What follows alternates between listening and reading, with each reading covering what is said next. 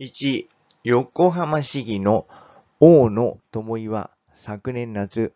第一子を出産した。8月下旬が出産予定日だったので、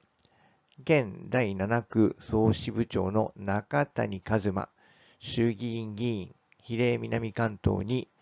7月半ばから党活動を休むと伝えた。だが中谷総支部長名で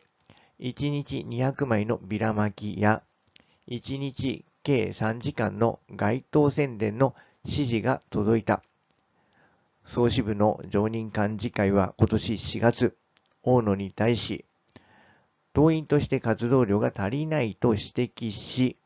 県連への公認上申見送りを決定した。大野は出産と育児で難しい部分があることはご理解いただきたいと説明を繰り返したが、総支部は取り合わなかった。大野は5月、党本部のハラスメント防止対策委員会に申告した。現在、委員会から委託を受けた第三者機関が調査している。県連の選挙対策委員会委員長後藤雄一衆議院議員神奈川16区は8月22日、大野に対し公認見送りを通知した。後藤選対委員長は各方面から幅広く意見を聞き、公認の見送りはいろんなく決まった。7区からもハラスメントはなかったと聞いている。議事録を確認したが、総支部常任幹事会で党員として活動量が足りないと指摘した者はいなかった。総支部には子育てをしている幹事も多く、社会にとって出産、子育てをしやすい環境づくりを目指し、支え合いながら運営していると述べた。県連は党本部の調査結果が出る前に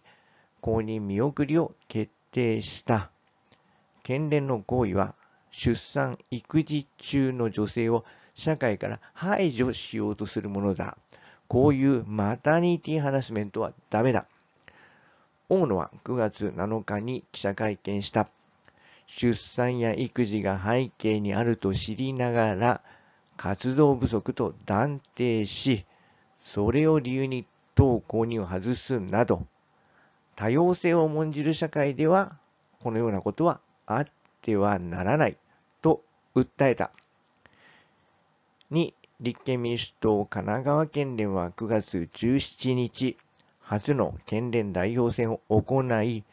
青柳陽一郎衆議院議員比例南関東を選出した。青柳新体制は一連のハラスメントを抜本的に解決しなければならない。うやむやにすることは許されない。